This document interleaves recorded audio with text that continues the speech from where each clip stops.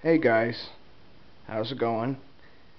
Uh, I was just uh, just a little bored here, and uh, figured I'd uh, do a video of my Northern Electric 354. This is actually one of my very favorite phones. I think uh, I think this is the first phone I bought off eBay. Um, you don't see too many Northern Electric ones, so as soon as I seen it was Northern Electric, I just had to get it. It's in great condition.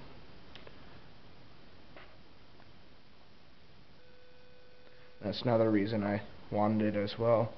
The only thing I want to do is I don't know if this handset cord is original or not, but uh, I wouldn't mind putting on one of the straight rubber ones or the straight uh, cloth ones, just to, you know, like the ones they put on the 302s, just to make it look a little better. But, you know, this one works for now. It could be original, who knows, but uh, actually I believe this phone is, it, it's a later model. I think it's actually a 54 or something like that, but uh, yeah, I'll give you a little look at it here. This phone, this phone is actually hooked up and working. Um, see if I can give you some dial tone.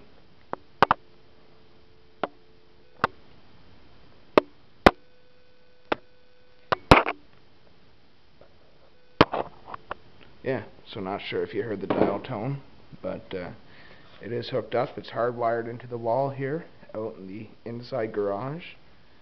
Um, original number card. I didn't want to change that because it looked kind of cool. Um, but uh, has the operator and the zero without the Z. Um, the paint is still very good on the uh, on the letters. Now, you know, I I actually, yeah, I actually did paint this phone. It was when I first started collecting phones and all that, and but it was actually pretty scratched up. So I did paint it. I painted this as well, but you can see it's already chipping off. Um, painted the thing.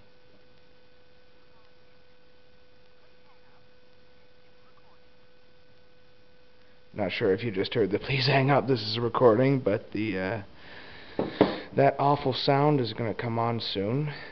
So, yeah, anyway, here she is, the uh, Northern Electric 354. I don't know if I showed you that there, the Northern Electric F1. Yeah, it's F1. Anyway, I'll uh, open her up and show you the guts. It's a great phone, and it suits it suits this garage good. It's right by the door, so if you're outside working, you hear the phone ringing, you can just step in the door and pick her up. There goes that. So, if you don't mind, I'm just going to set this camera down and I'll uh, take her apart and show you the guts.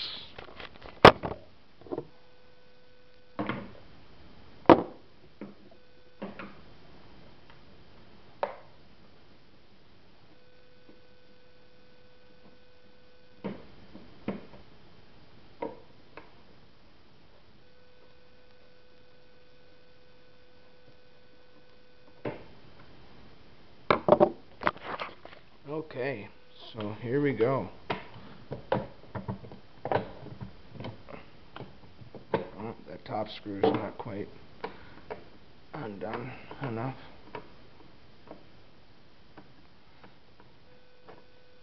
There we go. It's kind of cool how these just open up like that.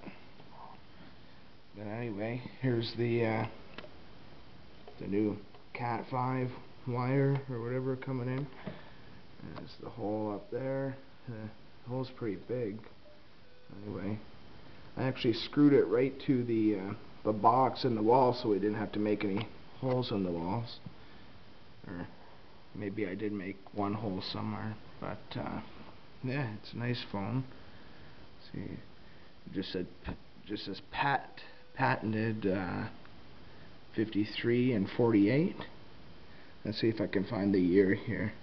Yep, it is a 54.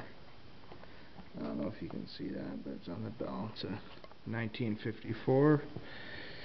Um, but yeah, there's a there's a view of the the inside of this phone. It's just a great phone. I love this. It's one of my favorites as well.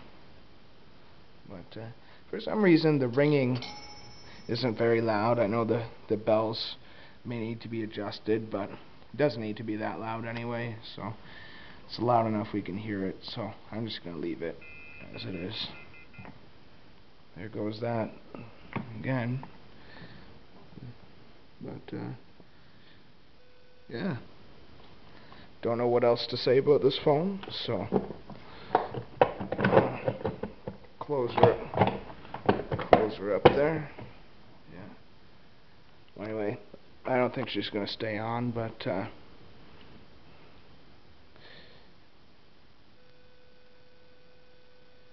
Northern Electric.